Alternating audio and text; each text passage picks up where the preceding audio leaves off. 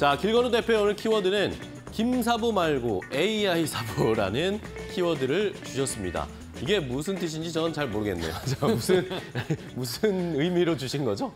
막 갖다 넣었습니다. 네. 뭐 AI가 최근 들어서 이제 이슈가 많이 되고도 있죠. 뭐 엔비디아도 결론은 실적이 주가가 어제 진짜 24% 올랐잖아요. 그쵸. 많이 움직인 게 사실은 AI 때문에 조금 올랐다라고 보시면 되는데 AI 관련된 게 사실은 챗 GPT로 시작이 되기는 했지만 그다음에 최근 들어서 그 구글에서 바드라는 게 또 나오다 보니까 네. 이슈가 더 많이 되고 있고 또 실적도 찍히고 있고 이렇게 생각을 하시면 되는데 포인트는 실적입니다. 네. 아, 그러니까 테마가 아니라 결론은 실적이 찍힌다라고 하면 시장이 왔다 갔다 하더라도 주가는 잘 갈 수밖에 없거든요. 네. 근데 AI 뭐 관련 주들 중에서 의료 AI 관련 주들은 사실은 어, 최근 들어서는 조금 실적이 많이 찍힌다라고 생각을 하시면 될 것 같고요. 네. 어, 올해 초부터 이제 뭐 루닛도 그렇고 뷰노도 그렇고 AI 의료 AI 관련주들이 굉장히 많은데 올해 1월부터 사실은 상승된 거를 보면 거의 뭐한 세배에서 많게는 다섯 배 여섯 배까지 오른 종목들이 네. 굉장히 많거든요. 오른 이유는 실적 때문입니다. 네, 그래서 뭐 실적 위주로 잘 가고 있다라는 거. 두 번째는 앞으로의 방향성이 사실은 의료 AI 쪽이 조금 더 맞아가는 것 같아요. 그러다 보니까 삼성전자에서도 의료 쪽 계속 얘기가 나오고 있잖아요. 네. 왜 그러냐면 제가 이제 최근 들어서 그 온- 최근 5년간 의료 사고 시- 조정 신청 건수 한번 제가 검색을 한번 해봤거든요. 그러니까 평균적으로 1년에 한 2,200건 정도는 일어나더라고요. 네. 근데 이게 조정 신청 건수예요. 그러면 실질적으로 일어나는 의료 사고는 거의 한 곱하기 10 정도 하시면 되는데 어. 거의 72%가 거의 대학병원급에서 일어난다고 생각을 하시면 됩니다. 근데 이제 저희들도 일상생활에서 보시면 뭐 이렇게 MRI나 뭐 이렇게 뭐라고 해야 되죠? 영상 자료들 이런 걸 똑같이 하나를 찍고 뭐 이 병원 저 병원을 가보면 전혀 다른 결과들 나오는 경우가 굉장히 많거든요. 네. 그래서 그로 인해서 또 사고가 발생하는 경우도 굉장히 많고 근데 최근 들어서 의료 AI 쪽은 이런 것들을 조금 진단하는 데 있어서 조금 더 정확해졌고 시간도 절약이 됐고 효율적으로 많이 의료 체계가 많이 바뀌어가고 있다라고 생각을 하시면 될 것 같아요. 그러다 보니까 AI가 발전되면 발전될수록 의료 쪽에서는 꾸준하게 수요가 일어날 수밖에 없다라고 네. 생각을 하시면 될 것 같습니다. 네, 좋습니다. 자, 이렇게 AI 인공지능에 대한 관심이 많아지고 있는 상황에 그중에서도 의료 AI를 우리가 조금 더 주목해야 된다. 실적도 어느 정도 받쳐주는 섹터 업종이기 때문에 저희가 저를 살펴봐야 되겠는데 그러면 어떤 종목들을 좀 보고 계세요? 어, 종목들은 사실은 근데 다 좋습니다. 네. 뭐, 결론은 먼저 움직였던 거는 사실은 대표적으로 루닛이랑 뷰노가 있다라고 보시면 되는데 루닛 같은 경우에도 지금 계속 최고가를 경신을 하고 있거든요. 왜 그러냐면 뭐 루닛 같은 경우에는 사실은 뭐 작년에 매출액이 한 138억 정도 했고요. 영업이익 25억. 그러니까 흑자 기조로 가고 있는데 앞으로의 매출 성장성이 조금 더 좋아 보인다라고 생각하시면 될 것 같고 어, 그다음에 뷰노 같은 경우에도 굉장히 좋은 흐름 가지고 있고요. JLK 같은 경우에는 오늘도 사실 오늘은 대부분 다 반도체 쪽으로밖에 안 쏠렸거든요. 네. 다음 주 월요일 날또 이제 시장이 쉬다 보니까 뭐 조금 쉬어가는 것들도 굉장히 많은데 JLK 같은 경우에는 오늘도 또 예, 거의 뭐 전고점이 만 원대였는데 거의 전고점 가까이까지 또 올라가고 있다라는 거.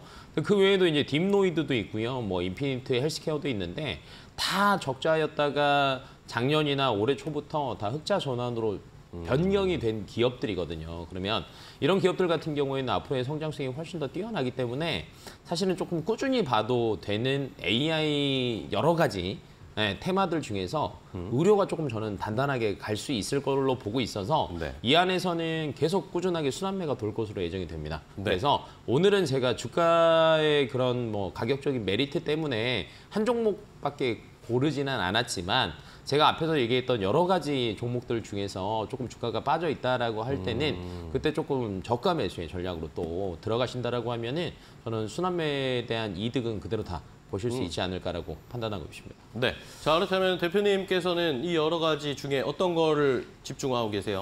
어, 지금 보니까 어, 뷰노가 괜찮더라고요. 뷰노. 예, 왜냐면 JLK 같은 경우는 이미 또 거의 뭐 전고점 노리고 있고요. 루닛 같은 경우는 또 찍고 내려왔고요. 근데 이제 상대적으로 뷰노 같은 경우에는 아직 전고점까지 가는 데는 조금 체력이 조금 남아 있다라고 보시면 돼요. 왜냐면 거의 전고점 2만 8천 원대인데 지금 2만 원대거든요. 근데 2만 2천 원에서 지금 계속 왔다 갔다 하고 있는데 저항선을 뚫는 거는 그리 어렵지 않아 보입니다. 왜 그러냐면 사실은 여러 가지 파이프라인이 조금 많다라고 보시면 될 것 같아요. 이제 뷰노 같은 경우에는 뭐 여러 가지가 있습니다. 뭐 흉부 엑스레이 찍는 것도 있고요. 그러면 이로 인해서 뭐 폐 관련된 거, 그다음에 폐암, 어, 천식, 그다음에 뭐 림프종 관련된 거를 조금 진단을 하기도 하고요. 그다음에 이제 펜더스라고 해서 눈을 또 판단하는 게 있습니다. 그래서 안구 관련된 것들도 사실은 조금 이렇게 결과 뭐 진단을 좀 쉽게 할 수 있는 것들도 있고요. 그다음에 뇌 MRI를 판독을 해서 최근 들어서는 뭐 JLK 같은 경우에도 어 최초로 A, 의료 AI 쪽에서는 사실은 최초로 비급여 혜택을 받게 됐거든요. 근데 이게 된게 어, 뇌졸중 같은 경우를 진단하는 거에 조금 특화가 됐다라고 보시면 될 것 같아요. 왜 그러냐면 특히 이제 혈관 질환 같은 경우에는 조금 진단을 하는 데 있어서 조금 실수를 하는 경우가 제법 많거든요. 근데 어, 뷰노메드 뷰노 같은 경우에는 뇌 MRI 판독하는 기술도 가지고 있다 보니까 최근 들어서 조금 어, 매출 자체가 굉장히 많이 늘어나고 있다라고 생각을 하신다라고 하면 저는 22,000원 뚫는 거는 쉬울 것 같습니다. 네, 좋습니다. 자, 뷰노를 먼저 소개를 해 주셨어요. 여러 가지 의료 AI 관련 종목 체크를 해보고 순환매로 아마 돌아가면서 순서대로 상승할 수 있을 것이다 라는 그런 의견을 주셨으니까 잘 살펴보도록 하겠고요. 자, 그럼 이 키워드 김사부 말고 AI 사부라는 키워드를 저희가 이상엽 이사님께도 공유를 해드렸잖아요. 이사님께서는 어떤 종목을 좀 떠올리셨나요? 네, 대표님께서 이제 말씀하신 종목 중에 한 종목인데 이제 뷰노를 좀 이제 집중적으로 뷰노. 말씀해 주셨고 네. 이제 똑같은 글자 수인데 이제 루닛. 루닛. 네, 루닛을 조금 더 뭐 좀 집중적으로 좀 말씀을 드리려고 어. 하는데 음, 다음 주에 이제 바이오 학회 6월 달에 바이오 학회가 굉장히 많은데 다음 주에 이제 시작되는 게 이제 아스코죠. 에, 이제 최대 암학회인데 여기에서 루닛이 그 전 세계 의료 아이뿐만이 아니고 국내사 국내 기업 포함해서 예, 가장 많은 연구 초록을 발표하더라고요. 어. 16건을 발표하면서 국내뿐만이 아니고 전 세계에서도 좀 관심을 이목시키는 그런 기대감이 최근에 이제 주가도 반영되고 있, 다고 좀 볼 수 있을 것 같고요.